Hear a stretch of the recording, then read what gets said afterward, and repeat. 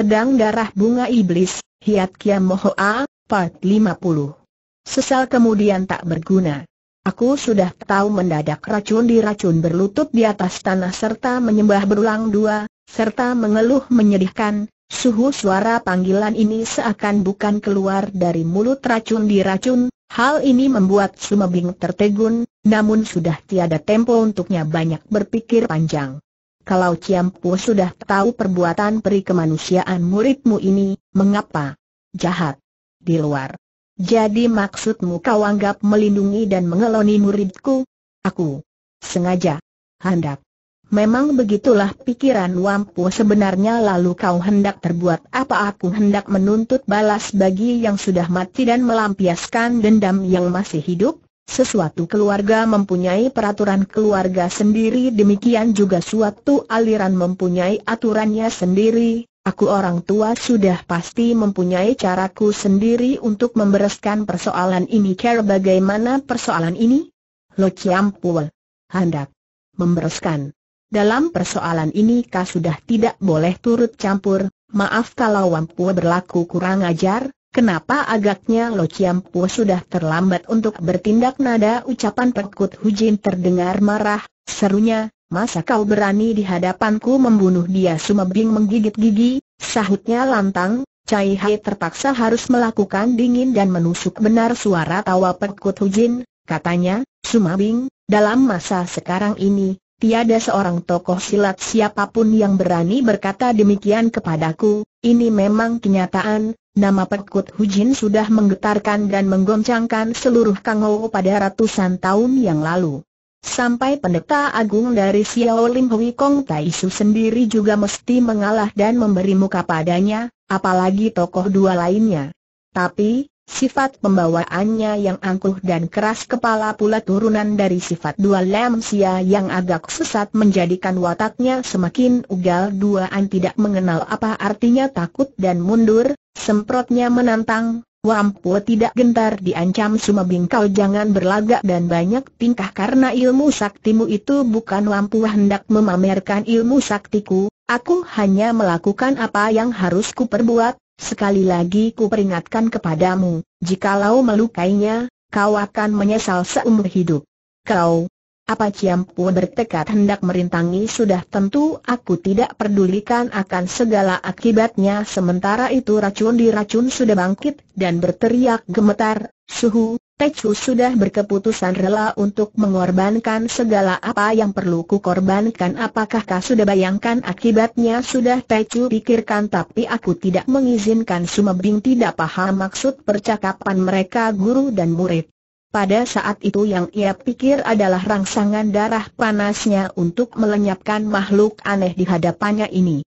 Kalau tidak bagaimana ia harus memberikan pertanggungan jawab kepada Tong Ping dan Ting Hoan yang sudah berada di alam baka. Sekonyong dua sebuah bayangan-bayangan langsing terbang mendatangi dengan gesitnya tanpa mengeluarkan suara terus menubruk ke arah racun di racun. Kejadian ini benar dua di luar dugaan, seketika Sumebing tertegun mematung. Belang disertai keluhan kesakitan sangat tampak racun di racun terhuyung beberapa langkah, hampir saja roboh terkapar. Setelah melihat orang yang baru mendatangi ini tercetuslah seruan kaget dari mulut Sumabing, adik kun, kaukah itu, memang bayangan langsing yang baru mendatangi ini adalah kekasih pertama Sumabing yaitu Siang Xiao Hun adanya. Wajah Siang Xiao Hun diliputi rasa kebencian yang meluap dua, mendengar panggilan Sumabing dia hanya mendehem sekali, kedua matanya dengan nanar mengawasi racun di racun berkelebat sebuah bayangan putih yang melayang tiba di depan matanya. Sumabing berteriak kaget, kontan jurus maya pada remang dua dilancarkan sekuatnya. Di tengah gelombang badai yang bergulung dua itu, tampak bayangan putih itu kena terpental sampai tiga tombak jauhnya. Jurus serangannya merupakan gerakan refleks dan kesigapannya. Karena begitu bayangan putih berkelebat taulah dia bahwa Pekut Hujin sudah bertindak memasuki gelanggang. Untuk membela diri dan untuk melindungi Siang Xiao Hun, maka tanpa pikir lagi kontan dia lancarkan serangannya. Auh, terdengar pekik yang menyayatkan hati, racun diracun sempoyongan lagi, akhirnya tak kuat berdiri dan roboh telentang di atas tanah. Hal ini malah membuat Siang Xiao Hun tertegun bengong. Mengapa racun diracun tidak membela diri atau balas menyerang, tidak mengerahkan tenaga murninya, juga tidak menyebar racunnya? Jelas dia mengetahui bahwa kepandaian dan lekang racun diracun jauh berada di atas kemampuannya.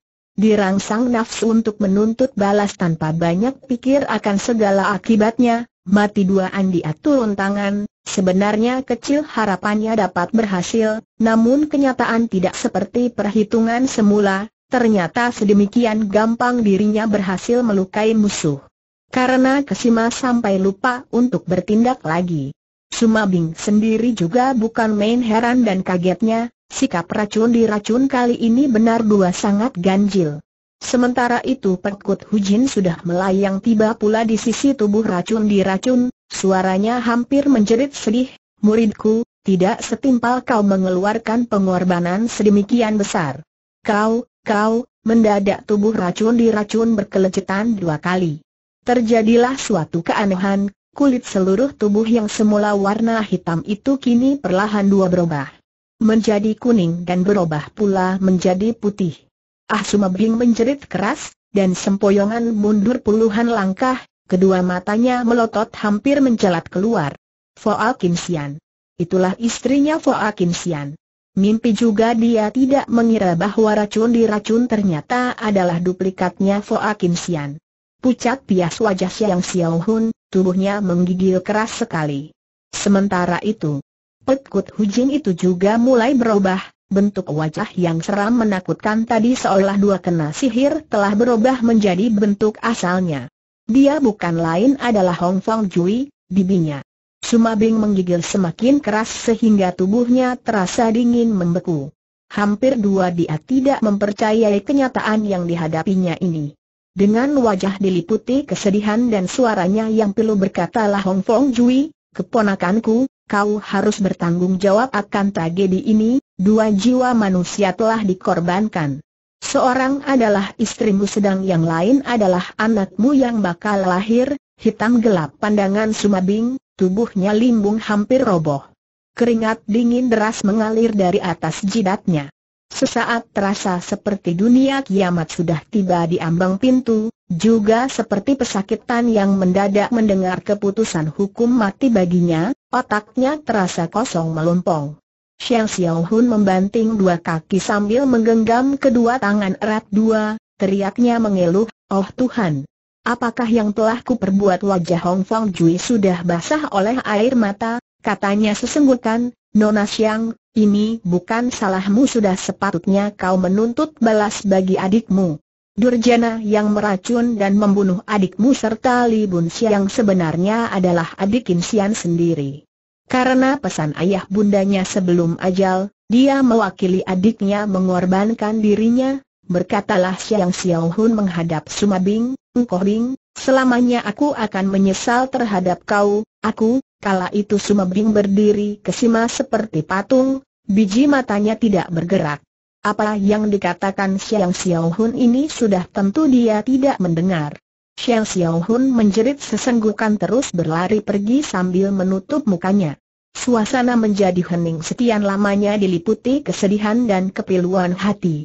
Lama dan lama kemudian baru Sumebing dapat membuka mulut bertanya, Bibi dia, masihkah dapat ditolong Ong Fong Jui menggeleng kepala penuh putus asa, sahutnya sedih, Tak bisa ditolong lagi tak bisa ditolong?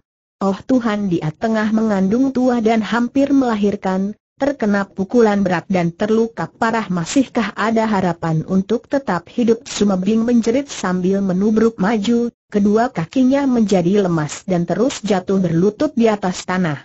Muka Foa Kim Sian memutih seperti kertas, jubah panjang dan celananya sudah basah kuyup tergenang air darah. Gugur kandungannya telah gugur. Semangatnya semakin runtuh, hatinya terasa juga tengah meneteskan darah. Apakah dosa istrinya? Kini dia telah meninggal. Apa pula dosa anak yang belum lahir itu, dia juga ikut menemui ajalnya. Dia berteriak dua dan menggumam entah apa yang terucapkan yang terdengar hanya samar dua saja, akulah pembunuhnya, aku adalah pembunuh, aku, keponakanku, bujuk Ong Fong Jui pilu. Tak berguna kau salahkan diri sendiri, kita berada di pinggir jalan raya, marilah dipindah ke suatu tempat lain Sumebing manggut dua seperti patung, tanpa hiraukan noda dua darah, Dipayangnya tubuh Foa Kim Sian terus dibawa ke dalam sebuah hutan dan mencari sebuah tempat yang rindang di bawah sebuah pohon besar terus dibaringkan kembali. Jarak yang dekat tidak lebih dari puluhan tombak ini baginya terasa seperti dibebani ribuan kaki beratnya. Kesedihan yang berkelebihan membuat hatinya lemah. Semangatnya runtuh, langkahnya sedemikian berat, dan perlahan. Melihat lakunya ini Ong Fong Jui menggeleng kepala tanpa bersuara. Bagai sadar impiannya, berkatalah Sumabing, Bibi, dia masih dapat ditolong apa, dapat ditolong seumpama tenaga murniku akan terkuras habis biarlah dengan kiu yang sintang, ai, keponakanku, isi dalam perutnya sudah jungkir balik, kandungannya juga sudah gugur, seumpama tabib dewa juga takkan kuasa menolongnya tapi, dia tidak boleh membuatnya hidup kembali. Mati. Jangan. Aku. Harus. Keponakanku, tenangkanlah pikiranmu, setelah menyekair matanya, secepat kilat Tong Fong Jui ulurkan telunjuknya beruntun jarinya menutup 20 lebih jalan darah besar, lalu dengan sebuah gaplokan yang keras dia memukul jalan darah KHI Hei, lalu dengan telapak tangannya menekan di jalan darah Tiantoh, mulailah hawa murninya sendiri disalurkan gelombang demi gelombang. Sebentar saja wajah Foa Kim Sian mulai bersemu merah, dadanya juga mulai bergerak naik turun secara teratur, tak lama kemudian tiba dua ia membuka mata.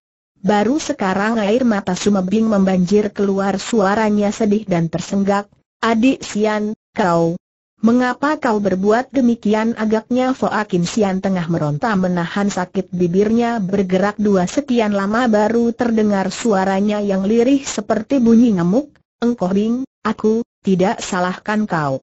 Tidak, adik Sian, kau harus membenci dan mengutukku, katakanlah kau benci padaku, Engkau Bing, sungguh aku menyesal, tidak melahirkan, anak untuk kau, oh aku, akulah algojonya, Akulah yang membunuh anakku, membunuh istriku engkau Bing, jangan kau salahkan diri dan meredas diri, inilah takdir-takdir?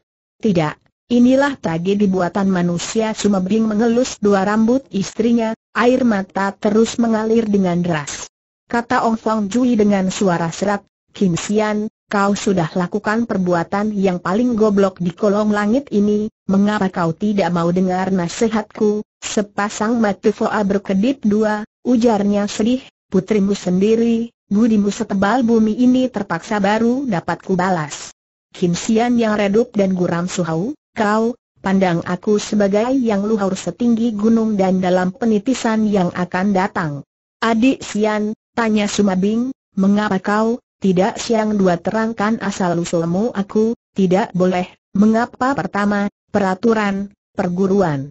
Kedua, sebelum ayah bunda meninggal, mereka serahkan Chu Giok kepadaku, dia melakukan kejahatan di luar peri kemanusiaan, semua ini adalah kesalahanku, aku, harus menebus dosanya itu, dengan pengharapan dia, merubah diri dan kembali ke jalan yang benar, Foa Chu Giok gumam sumebing sambil kertak gigi. Seumpama saat itu Foa Chu Giok berada di hadapannya pasti tanpa pikir lagi dia akan dibunuhnya. Agak lama Foa Kim Sian pejamkan matanya, lalu dengan susah payah dipentangkan lagi, serta katanya semakin lemah. Engkau Bing, permintaanku. Kuharap kau meluluskan. Satu. Coba katakanlah apakah kau dapat mengampuni. Chu Giok ini terbayang nafsu membunuh yang tebal di wajah Sumabing.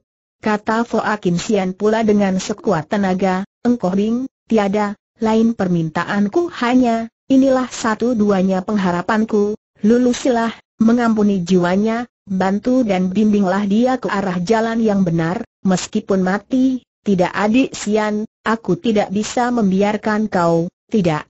Saya umpama mesti mengorbankan jiwaku aku juga harus berusaha, air muka Foa Kim Sian berubah mendadak memburu dan batuk dua. Merah. Napasnya tangan Ong Fong Jui yang menempel di jalan darah Tiantoh itu juga kelihatan gemetar, keringat membanjir dengan derasnya membasahi tubuh.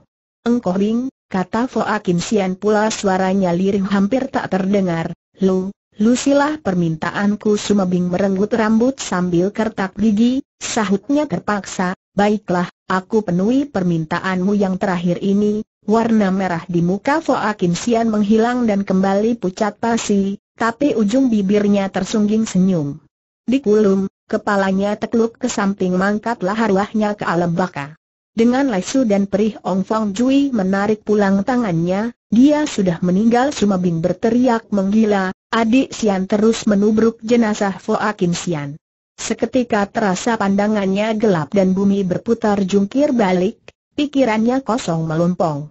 Mendadak Sumebing meloncat bangun, sesaat ia pandang wajah pucat jenazah Foa Kim Sian, tiba dua angkat sebelah tangannya terus mengepruk ke atas batok kepalanya sendiri.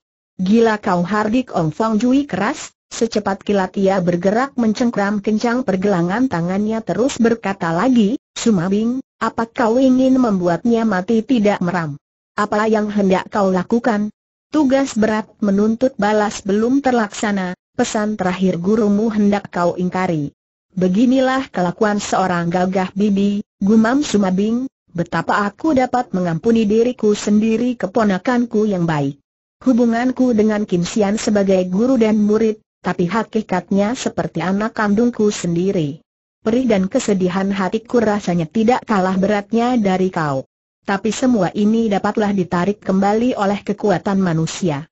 Semua ini sudah menjadi suratan takdir ya Bibi, aku akan menyesal dan merana sepanjang hidupku ini sebuah gundukan tanah dari sebuah kuburan baru muncul di antara alingan pohon dua lebat dalam rimba itu di mana di atas sebuah batu nisan yang sederhana tertuliskan beberapa huruf yang berbunyi, kuburan Kinsian istri Sumebing yang tercinta di bawah sebelah kiri tertanda nama Sumebing. Tampak Sumebing berendeng bersama Ong Fong Jui di depan kuburan, mereka berdiri mematung tanpa bergerak dan mengheningkan cipta. Agak lama kemudian baru Ong Fong Jui buka suara memilukan, keponakanku yang sudah pergi biarlah pergi, yang mati takkan dapat hidup kembali. Marilah kita tinggal pergi tidak kau, aku hendak mendampingi kuburan Kinsian selama seratus hari, sebagai curahan rasa cinta kasih sebagai suami istri kau mempunyai maksud yang suci dan mulia itu sudah cukup. Janganlah kau memeras diri merusak kesehatanmu sendiri, Bibi, kurasa dengan berbuat begitu dapatlah memperingan beban tekanan batinku ai, apa boleh buat, baiklah. Aku harus segera mencari Durjana Foacu Giok itu, harus cepat dua ku cegah supaya dia tidak memperbanyak melakukan kejahatannya. Bi, silahkan aku tidak bisa mengantar ada yang masih harus ku beritahu kepadamu. Petkut Hujin adalah guruku, dia sudah meninggal dunia pada 20 tahun yang lalu, akulah yang menjadi murid ahli warisnya, Oka sudah paham ya, Bibi, tentang ibunda, ibumu bagaimana aku sudah dapat menemukan dia. Ha! Apa benar teriak Ong Fong Jui kegirangan dan haru. Kata Sumabing lagi, dia menjadi ketua dari Jeng Xiong Hwe yang menggetarkan kalangan Kang Wo itu. Tapi sebenarnya dia adalah majikan dari panggung berdarah saking kaget Ong Fong Jui undur selangkah, suaranya gemetar, sungguh di luar dugaan, Lalu di mana sekarang Cici berada secara ringkas jelas Sumebing menuturkan di mana letak daripada panggung berdarah itu. Ong Fong Jui manggut dua, katanya, Tuhan sungguh maha pengasih, keponakanku tentang para musuh besarmu aku sudah mempunyai catatan nama dua mereka, Loh Cugi adalah biang keladinya menyinggung nama Loh Cugi seketika timbul nafsu kekejaman Sumebing. Keponakanku apa kau masih ingat pada Pak ya? Dengan tanganku sendiri telah kubunuh dia apakah kau pernah dengar tentang Pek Bin Moong, Raja Iblis seratus muka Raja Iblis seratus muka benar, gembong aliran hitam yang kejam dan telengas, ilmu kepandaian riasnya tiada keduanya di kolong langit ini. Kepandaian luakangnya juga malang melintang dalam dunia persilatan. Dia adalah suheng dari Pek Ciolojin memangnya kenapa konon kabarnya BWEHWAHWE baru dua ini mengundang dan mengangkat seorang maha pelindung. orang itu mungkin adalah Raja Iblis ini, masa betul? Sudah sekian lama Raja Iblis ini tidak muncul di kalangan Kangou, belakangan ini katanya ada orang yang melihat jejaknya kalau dia secara terang berani membantu kejahatan menyebar maut, pasti keponakan takkan melepas dia. Raja Iblis ini sangat cerdik dan licik serta licin sekali, kau harus waspada hati dua menjaga diri, Terima kasih akan petunjuk Bibi ini lalu tentang barisan pohon bunga BWE yang aneh di luar markas besar BWE HWA itu apakah kau sudah? Justru hal inilah yang membuat keponakan serba susah ini. Coba kau pergi menemui si GW Asian Jin dan minta petunjuk padanya mungkin dia bisa membantu kau terbangun semangat Sumabing, katanya. Si Gwe Asian Jin juga mahir tentang ilmu barisan yang aneh dua itu di antara tokoh dua bulim sekarang ini termasuk dia yang paling kuat dan pandai apa selain dia tiada lain orang lagi ada, tapi, mengapa mungkin dia sudah meninggal dunia? Jikalau ada dia persoalan ini pasti dapat dipecahkan seumpama membalik tangan gampangnya, siapakah dia? Ihal Gwe Ki Heli Itsim Li Itsim benar, apa, kau, Aku pernah dengar Kang Kun Lojin menyinggung tentang namanya, apakah orang tua itu masih dalam dunia fana ini? Entahlah lebih baik kau khusus mencari dan menemui si Gwe Asian Jin saja, baiklah, aku hendak pergi, jagalah dirimu baik dua setelah menghela napas panjang Wong Fong Jui melayang pergi dan menghilang. Berdamping batu nisan Sumabing duduk terpekur tenggelam dalam kenangan lama yang menyedihkan.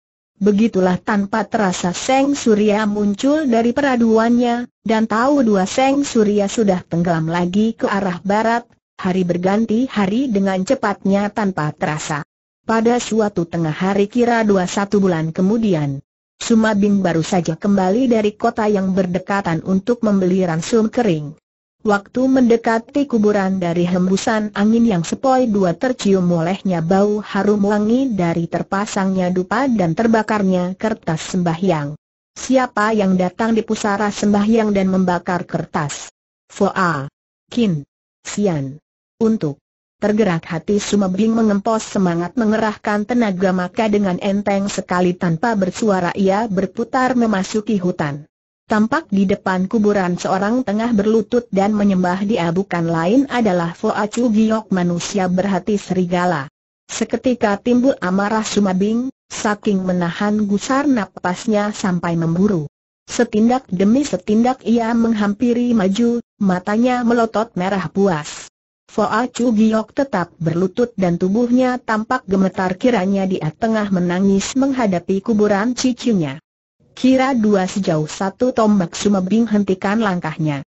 Foa Chu Giok hardiknya lantang dan dingin. Foa Chu Giok bangun berdiri terus memutar menghadap Sumebing sinar matanya redup dan semangatnya layu, sekian lama baru keluar suaranya, Cihu Foa Chu Giok, kau tahu kenapa cicimu sampai mati karena perbuatanku yang durjanalah sebabnya kau sudah tahu, baik sekali. Sekarang gunakanlah racun atau jurus dua keji apa pun juga terserah kau, mari kau serang aku, jikalau tidak kau tidak akan mempunyai kesempatan.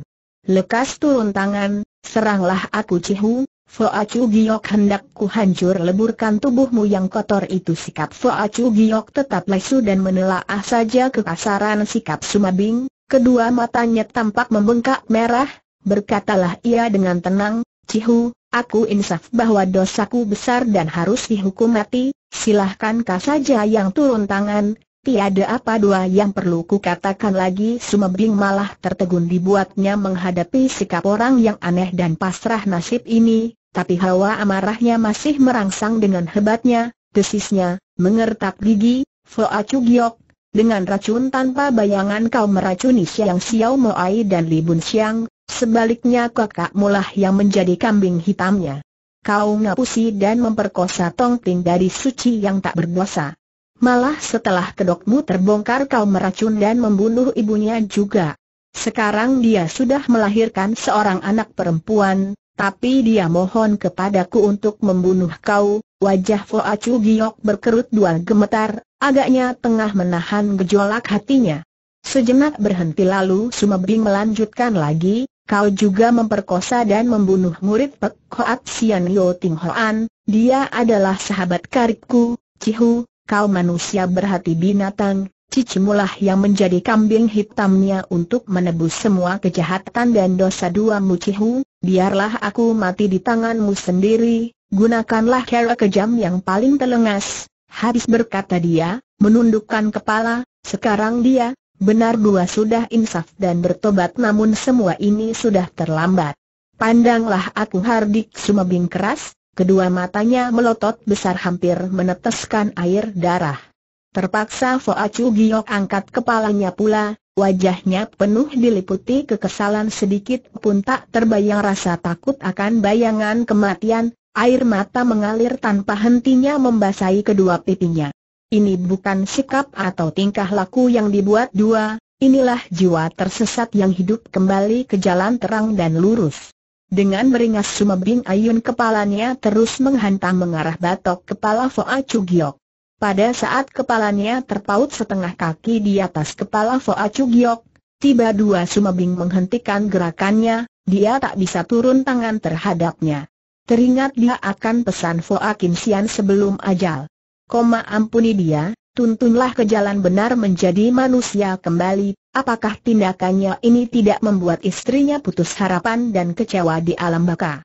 Memang ingin dan rasanya harus dia membunuh manusia laknat ini menjadi hancur lebur, tapi pesan istrinya sebelum ajal membuat dia tak kuasa turun tangan. Akhirnya sambil mendengus keras dua dia tarik kembali tangannya. Foa Chu Giok tetap bersikap tak acuh, katanya agak di luar dugaan, kenapa Cihu tidak jadi turun tangan? Aku sudah melulusi cicimu untuk tidak membunuh kau, ujar Sumabing gegetun, Foa Chu Giok, dia menjadi korban demi menebus dosa duamu, sebelum ajal dia masih selalu ingat pada kau, dia mintakan ampun bagi kau, kau, inikah manusia mendadak? Foa Chu Giok menubruk ke depan batu nisan dan berlutut sambil menangis menggerung dua, kepalanya diadu dengan tanah, serunya sesambatan, Cici, memang dosaku besar, aku tidak memohon pengampunanmu, hanya ku minta kau tahu bahwa adikmu yang jahat dan rendah melebihi binatang ini sekarang sudah insaf, aku bertobat, Cici, apa kau dengar?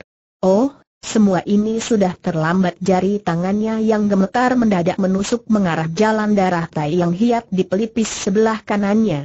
Berhenti Sumabing menggertak keras, secepat kilat jarinya menutup dari kejauhan, sejalur angin kencang tepat sekali menutup jalan darah Jeti, Seketika tangan Foa Chu Giok itu lemas semampai. Kau ingin mati juga sudah terlambat, seharusnya kau mati sebelum cicimu menemui ajalnya. Sekarang dia sudah mati. Dia ingin kau tetap hidup untuk menyambung keturunan keluargamu. Pelan dua Foa Chu Giok berdiri, pelipisnya merembes air darah karena tusukan jarinya tadi, keadaannya sungguh sangat mengerikan, mulutnya mendesis seperti orang menggumam, yang harus mati tidak mati, yang tidak seharusnya mati malah mati. Masih adakah derajatku untuk tetap hidup amarah Sumebing yang membara mulai mereda dan hampir padam, dia sudah mau kembali ke jalan yang benar dan lurus, apalagi yang dapat dikatakan? Foa Chugiok, untuk kau Tong Ting sudah melahirkan seorang orok mungil, itulah keturunan keluarga Foa kalian. Dan lagi terhadap Tong Ting kau harus memberikan ketertiban hidup selanjutnya Foa Chu Giok menggut dua tanpa bersuara. Katanya kepada Foa Chu Giok lagi, kau boleh pergi, ku harap kau jangan membuat cicimu mengandung penasaran di alam baka, baik dualah menelaah nasihat dua baik untuk petunjuk hidup yang benar dan lapang ciu, Aku pasti menurut segala nasihatmu baiklah kau boleh pergi sekali lagi Foa Chu Giok berlutut dan menyembah di depan pusara cicinya, sekian lama dia mengheningkan cipta lalu berdiri dan tinggal pergi sambil berlengkut. Memandang bayangan punggung orang, Sumebing menghela napas panjang, entah bagaimana perasaan hatinya. Tanpa terasa ia mengulangi kata dua yang diucapkan oleh Foa Chu Giok tadi yang harus mati tidak mati, yang tidak seharusnya mati, malah mati. Sekonyong-konyong sebuah suara yang bernada dingin sebagai ejekan menyambung perkataannya, ya, memangkah seharusnya mampus Sumebing terkejut sigap sekali ia memutar tubuh memandang ke arah datangnya suara, tampak seorang buntak tua berjenggot panjang sebatas dada dan beruban tahu dua sudah mendatangi di depannya sejauh tiga tombak. Dia bukan lain adalah si maling bintang si Bancuan. Cepat dua Sumebing angkat tangan memberi hormat, serta sapanya, Ciampu baik dua saja selama berpisah ini mulut si maling bintang si Bancuan berkecek dua dingin, dengusnya, buyung, sungguh tidak kira ternyata begitulah pribadimu, hektometer, aku si maling tua agaknya sudah picak, Sumebing melengah heran, tanyanya, apa maksud ucapan Ciampu ini? Mati si maling bintang memancarkan sorot berapi dua, semprotnya beringas, buyung, Ternyata setelah dapat mempelajari ilmu sakti, kau gunakan untuk kejahatan di luar peri kemanusiaan, tahu dua dimaki, dicercah dan dituduh sebagai manusia durjana, keruan Sumabing berjingkrak kaget dan terheran, dua, tanyanya pula, tuduhan Ciampu ini mengenai hal apa Buyung. Di seluruh jagat ini tiada kepandaian yang tiada tandingannya, setinggi dua gunung ada yang lebih tinggi, Sepandai dua orang ada orang lain yang lebih pandai, bukan karena mempunyai sebuah kepandaian sakti lantas tiada lawan di seluruh penjuru angin. Berbuat jahat dan malang melintang menyebar lemaut, memang manusia punya bisa tapi Tuhanlah yang berkuasa, kelak kau pasti akan menerima pembalasan yang setimpal, Ciam Pual, kenapa kau bicara ngelantur, aku kurang jelas aku si maling tua inginkan jiwamu, apa ini belum jelas?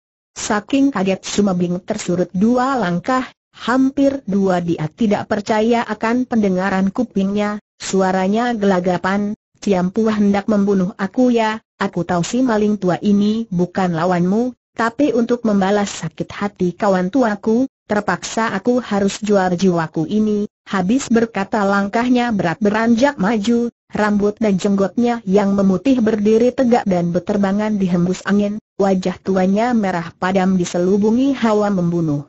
Apa ini bukan kelakar belaka hektometer, kelakar, sedikitnya bukan? Ciampul. Harus mengemukakan alasanmu.